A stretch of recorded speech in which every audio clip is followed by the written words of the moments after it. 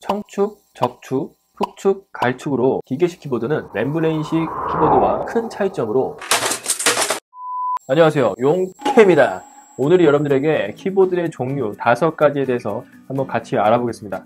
키보드 종류가 굉장히 다양하죠. 뭐 기계식 키보드, 뭐 membrane식 키보드, pantograph식 키보드 뭐 기계식 키보드에서는 청축, 적축, 흑축, 갈축 와 도대체 뭔 말인지 모르겠어요 하시는 IT계의 순수하고 백옥 같은 백설이 같은 분들을 위해 이 영상을 어, 만들어 봤습니다 혹시나 키보드를 구매하실 계획이 있으시다면 제 영상이 도움이 될 것 같습니다 첫 번째, membrane식 키보드. membrane식 키보드는 일반적인 가정에서 볼 수 있는 보편적인 저가형 키보드입니다. 보통 이 membrane식 키보드 같은 경우는 타이핑을 오래 해도 피로도가 많이 쌓이지 않기 때문에 회사나 학교의 컴퓨터실에 많이 있는 키보드가 membrane식 키보드입니다. 게임을 하시다가 게임이 잘 풀리지 않을 때 또는 스트레스를 굉장히 많이 받으셨을 때 이 membrane식 키보드를 콱콱콱 뚜까 부셔도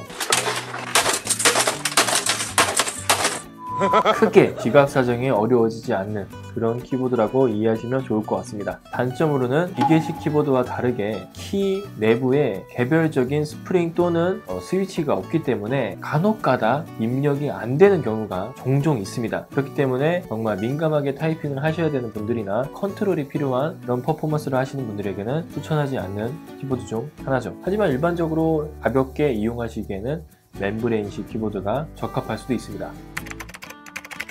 두 번째, 기계식 키보드는 membrane식 키보드와 큰 차이점으로 키 내부에 개별적인 스위치 및 스프링이 달려있기 때문에 좀 더 정밀하게 타이핑 작업을 할 수 있습니다. 기계식 키보드는 총 4가지로 크게 나눌 수 있는데요. 청축, 적축, 흑축, 갈축으로 나눠집니다. 기계식 키보드의 4가지 분류를 하나하나 살펴보도록 할게요.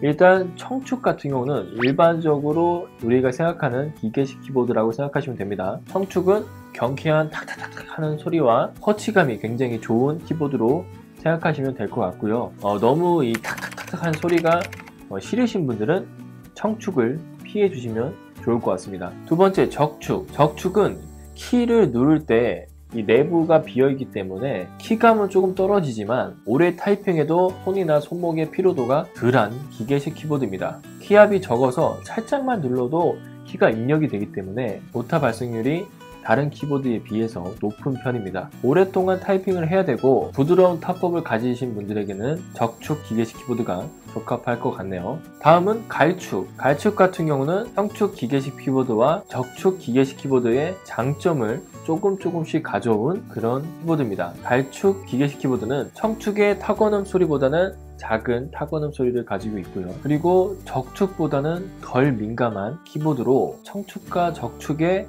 밸런스형 키보드라고 생각하시면 이해가 편하실 수 있을 것 같습니다. 어, 타이핑을 오래 하셔야 되는 분들에게 갈축 기계식 키보드를 추천합니다. 마지막으로 흑축 기계식 키보드는 적축 기계식 키보드와 비슷한 방식으로 적축 기계식 키보드보다 키압이 더 높기 때문에 더 강한 힘으로 키를 눌러야만 입력이 됩니다. 강한 힘으로 누르다 보니까 피로도가 제일 많은 키보드 중 하나인 거죠. 근데 또 재미난 점은 절반만 눌러도 키가 입력이 되기 때문에 좀 더 빠른 타이핑을 원하시는 키보드 워리어 같은 분들에게 추천하는 키보드입니다. 자 이렇게 기계식 키보드에 대해서 알아봤는데요. 보편적으로 기계식 키보드는 청축 기계식 키보드를 많이 이용하고 있고요.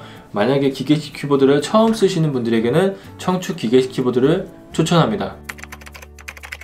자, 세 번째로 펜타그래프식 키보드인데요. 펜타그래프식 키보드는 어, 노트북에서 많이 이용하고 있는 키보드인데요.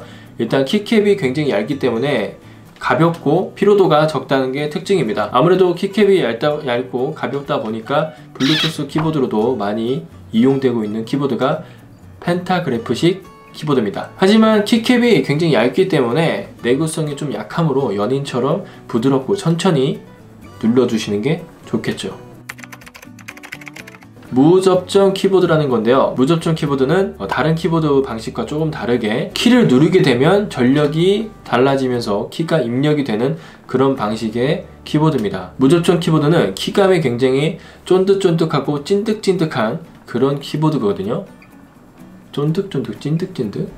무접점 키보드는 비교적 무겁고 가성비적으로 가격이 굉장히 좀 나가기 때문에 잘 이용하지 않는 키보드로 이해하시면 될 것 같습니다 일단 월링키라는 건데요. 월링키 같은 경우는 스마트폰 어플에 깔아가지고 키보드는 없지만 키보드가 필요하실 때 유용하게 이용할 수 있기 때문에 여러분들이 아셨으면 좋겠다 생각해서 한 가지 더 번외로 넣었고요. 자 이렇게 모든 키보드에 대해서 한번 다 알아봤고요. 뭐 간단하게 정리해보면 가볍고 오랫동안 쓰시고 그냥 보편적인 키보드를 쓰신다면 membrane식 키보드를 이용하시면 될 것 같고요. 나는 좀 더 키감이나 터치감 아니면 뭐 키 압력 같은 거 좀 더 생각하셔서 좀 더 좋은 키보드를 쓰셔야겠다 생각하시는 분들은 기계식 키보드를 이용하시면 될 것 같고요. 기계식 키보드에서도 처음 이용하시는 분들은 청축 기계식 키보드를 이용하시면 좋을 것 같습니다. 자, 오늘 영상이 여기까지고요. 여러분들이 키보드를 선택하실 때 제 영상이 조금이라도 도움이 되셨으면 좋겠습니다.